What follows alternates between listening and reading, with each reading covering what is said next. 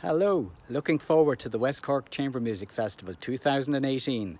Won't be long now, folks, but I have to tell you, you better get your tickets now because things are starting to sell out quickly. Uh, it's on a day like this, wouldn't you wish you were down in West Cork?